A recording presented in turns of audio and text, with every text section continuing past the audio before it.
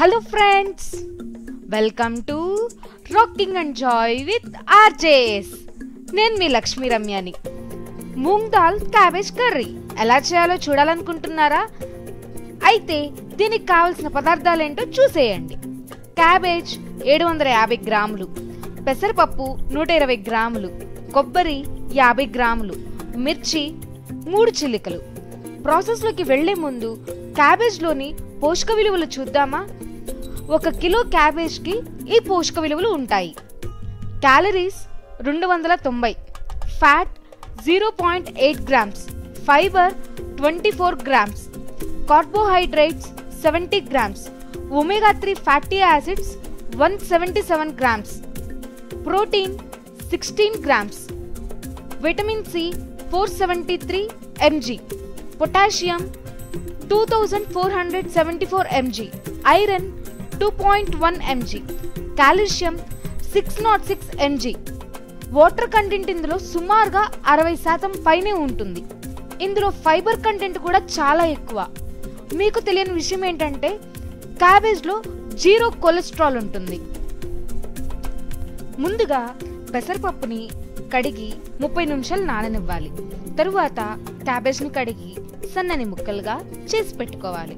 ఒక pressure cooker తీసుకుని దానిలోకి కడిగి పెట్టిన క్యాబేజ్ పెసరపప్పు వేసుకోవాలి.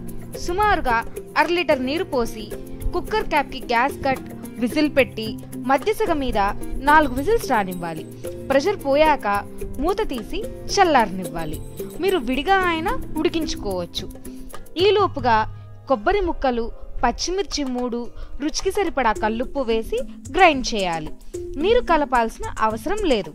తరువాత స్టవ్ ఆన్ చేసి పాన్ పెట్టుకోవాలి. అందులోకి రెండు స్పూన్స్ ఆయిల్ వేసి కాలనివ్వాలి.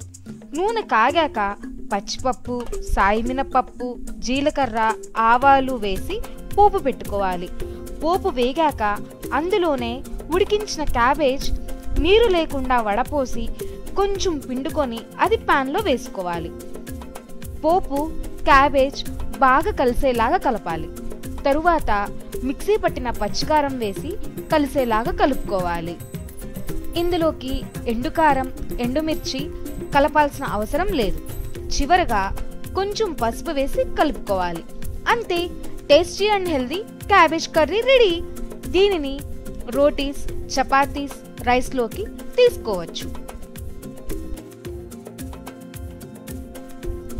క్యాబేజ్లో ఇన్ని పోషక విలువలు ఉన్నాయి. మరి ఉడికించినప్పుడు దానిలోని సారం మొత్తం ఆ నీరులోకి వెళ్ళిపోతుంది. మరి ఆ నీరుని ఏం చేసింది? అని అనుకుంటున్నారా? అయితే రాకింగ్ అండ్ జాయ్ విత్ ఆర్జేస్కి సబ్స్క్రైబ్ అవ్వండి. నా నెక్స్ట్ వీడియోస్లో నేను ఆ నీరుతో ఏం చేశానో తెలుసుకోవచ్చు.